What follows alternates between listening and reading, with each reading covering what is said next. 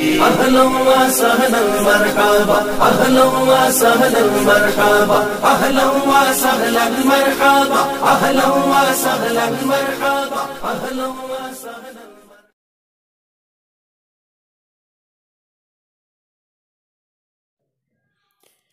پہلے ان دو تعبیرات کو دیکھ لیتے ہیں۔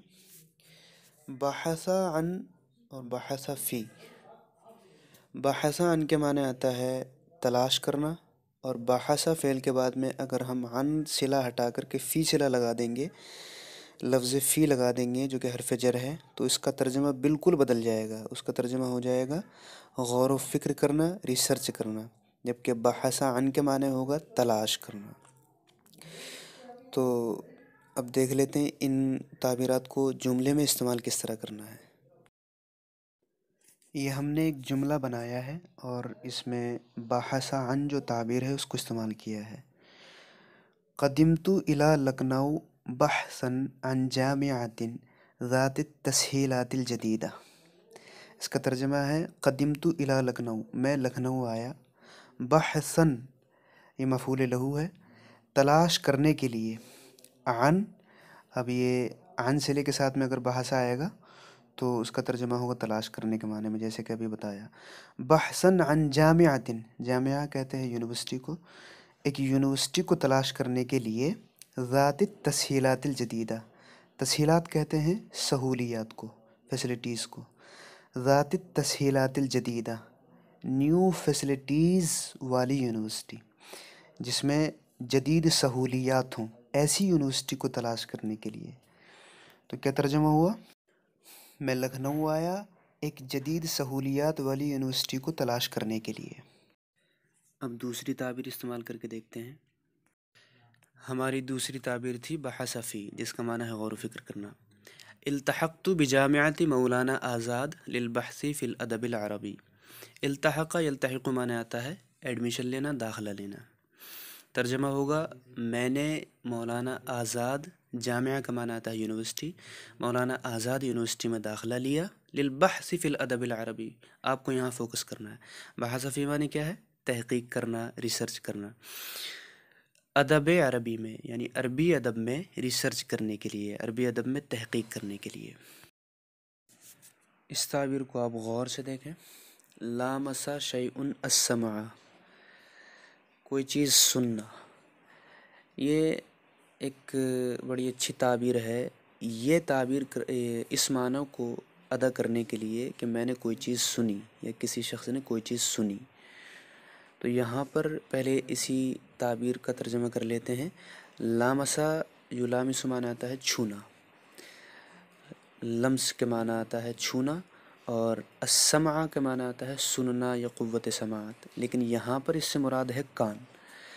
مطلب یہ ہے کہ کسی چیز نے کان کو چھوا۔ یہ شیعہ جو شیعن جو استعمال کیا ہے، یہاں پر کوئی نہ کوئی مفعول آئے گا۔ ٹھیک ہے؟ تو ترجمہ کیا ہوگا کہ کسی چیز نے کان کو چھوا یعنی کان میں کوئی چیز پڑی یعنی کہ کوئی خبر سنی۔ تو اس کو اب استعمال کس طرح کریں گے؟ یہ دیکھ لیجیے گا۔ بڑی اچھی تعبیر ہے۔ لامسا سمعی خبر التظاہرات فی دل ہی لامسا چھونا، سمع کان، خبر التظاہرات۔ تظاہرات کے معنی ہیں جو پروٹیسٹ ہو رہے ہیں نا آج کل، تو اس کو عربی میں کہتے ہیں تظاہرات، مظاہرے۔ میرے کان کو چھوا مظاہروں کی خبر نے دہلی میں یعنی دہلی میں جو مظاہرے ہیں، ان کی خبر نے میرے کان کو چھوا۔ یہ ہو گیا لفظی ترجمہ۔ محاوری ترجمہ بالکل مختلف ہو جائے گا اور وہ سیدھا سیدھا یہ ہوگا کہ میں نے دہلی میں ہونے والے مظاہروں کی خبر سنی۔ تو ہو گیا نا بالکل مختلف۔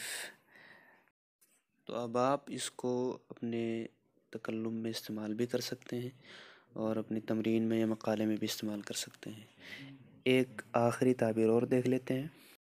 جیسے ہم سوال کرنے کی عربی جب بناتے ہیں کہ میں نے سوال کیا، میں نے پوچھا، تو اس کے لیے ہم صرف سألہ فعل کا استعمال کر دیتے ہیں کہ سألتو۔ لیکن یہ ایک بڑی اچھی تعبیر ہے اس معنی کو ادا کرنے کے لیے۔ طرح السؤال یا قدم السؤال۔ ان دونوں کا سیم ترجمہ ہے سوال کرنا۔ جو سعالہ کا ترجمہ ہے، وہی ان دونوں کا ہے۔ لیکن یہ ایک مہذب انداز میں ہے جب ہم کسی بڑے سے سوال کریں گے، تو اس کے لیے یہ ان دونوں فعلوں میں سے، ان دونوں تعبیرات میں سے کوئی بھی ایک تعبیر استعمال کریں گے تو جملہ بڑا اچھا ہو جائے گا اور خوبصورت ہو جائے گا۔ اس کو جملے میں استعمال کر کے دیکھتے ہیں ان دونوں تعبیروں کو۔ طرحت السؤال الى حضرت الاستاد یا قدمت السؤال الى حضرت الاستاد تو یہاں حضرت الاستاذ پر فوکس کیجیے۔ ایسے بھی کہہ سکتے تھے، طرحت السؤال الى الاستاد لیکن جب حضرت لے کر کے آئیں گے تو جملہ بھی خوبصورت ہو جائے گا، بولنے میں بھی اچھا لگے گا اور زیادہ مہذب ہو جائے گا۔ ترجمہ دونوں کا ایک ہی ہے۔ میں نے اپنے استاد سے سوال کیا، میں نے استاد سے پوچھا، میں نے استاد سے سوال کیا۔ آج کے لیے بس اتنا ہی۔ باقی انشاءاللہ اگلی ویڈیو میں میرا آپ لوگوں سے مشورہ بس یہی ہے کہ آپ ان تعبیرات کو لکھیے۔ جملوں میں استعمال کرنے کی کوشش کیجیے تکلم میں استعمال کرنے کی کوشش کیجیے اور اپنا خیال رکھیے۔ السلام علیکم۔